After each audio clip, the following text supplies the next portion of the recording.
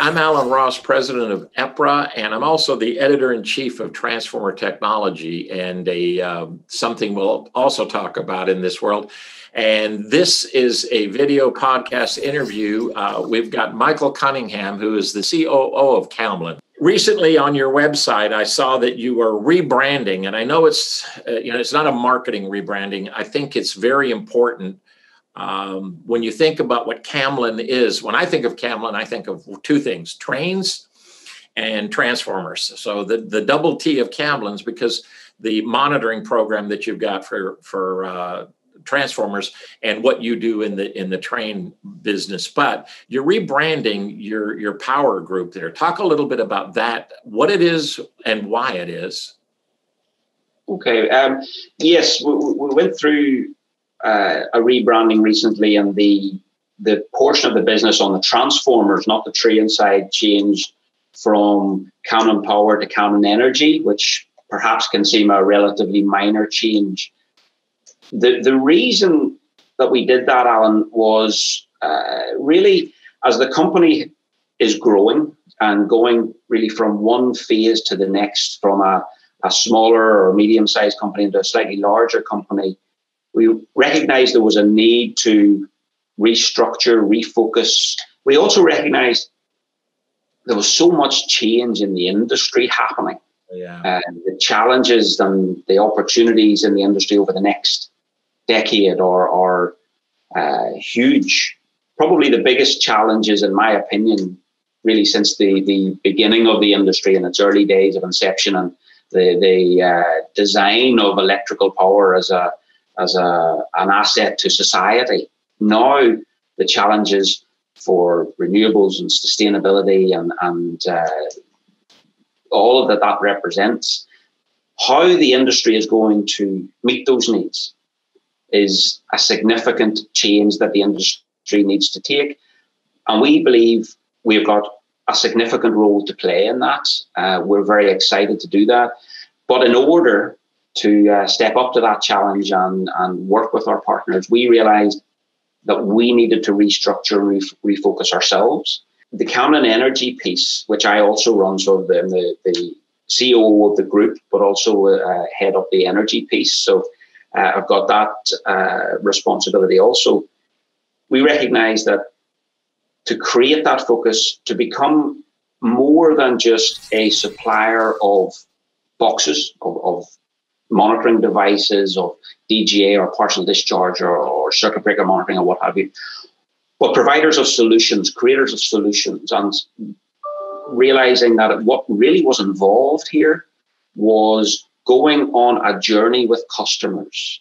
To be able to do that, we needed to be sure that we had all of the right layers of expertise in place and that those layers of expertise were aligned to provide that value with, I suppose, very clear vision in mind of what the industry and what our customers, what their journey over the next decade is going to be. Everything's changing. So you're exactly right. And it sounds like what Camlin is doing is changing to take advantage and positively those changes. Because you know what is not changing? The confusion by the engineers in the marketplace. They're going, what is happening? And especially yeah. the older ones like me, you know what they're doing? They're saying, good luck, next generation, figure it out. How are you going to affect? I just I just said what the problem is. How are you going to affect that at Camlin Energy? What we came up with, we're here, and our purpose is to to engineer better futures. I like that. And then our vision is okay, well, what does that mean for as a vision for us? It's to optimize the, infra- the critical infrastructure all around us, that infrastructure on which society depends. So the, the transformers and the trains, to go back to your the T and the T. yeah. And, and, and so if we are to optimize that, and then we think, well, what are our values? And then it touches on something you said, because one of our values is we don't accept the way it's always been done. And the phrase that we use in here, which we didn't invent, but it, it, it resonates, is what got us here won't get us there. Right. So we recognize that just as you touch on the, the, the, models, the methodologies, the diagnostics, the tools, the working practices that the industry is going to need in the next decade are not the ones that were created a decade ago. We are heavily involved in it from a couple of different angles.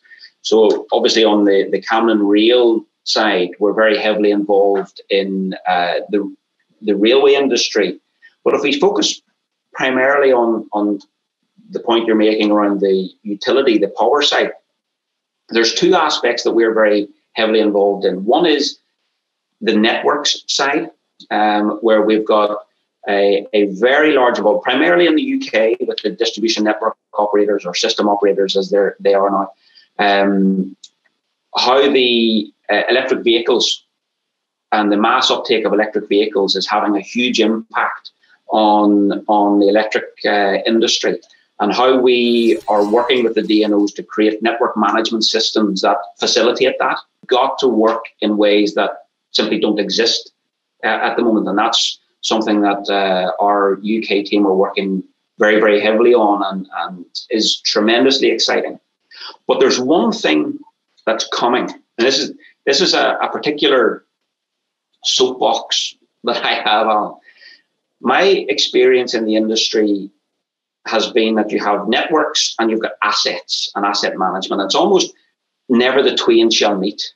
Right. And they've got different methodologies, different languages, different. Uh, they, they use different mathematical tools to do their. One's all about the management of risk and uh, sweating capital assets, and so on. The other is about energy flow and, and uptime and, and so forth. And but actually, they are going to crash together. Yes. Over the next years. Yeah. And there, there are new models and new, there's new thinking required. And that's going to require a combination of uh, hardware at the cold face, both in networks and asset monitoring. It's going to require the collation of data in ways that currently I think is is uh, in its infancy. The analysis of data using new tools like AI and machine learning, but crucially, with the expertise, the knowledge of the assets and the knowledge of the networks, know what this data is saying. In order to understand that over the next decade, we're going to have to, as an industry, create new models.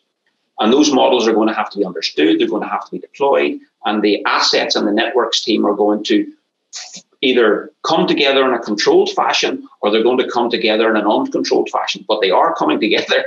Our part to play is we can help because we've got the hardware both in the networks and in the assets. We've got the, the, the data collation, the AI and machine learning, the expertise. We can create, we can work with teams on this journey, refining and improving existing models, creation of new models, uh, and then the, the new methodologies that are necessary, that journey can be taken in a controlled fashion. It's back to the old point of what got us here won't get us there. It's something that I think is one of the single most exciting and most challenging aspects of the next 10 years.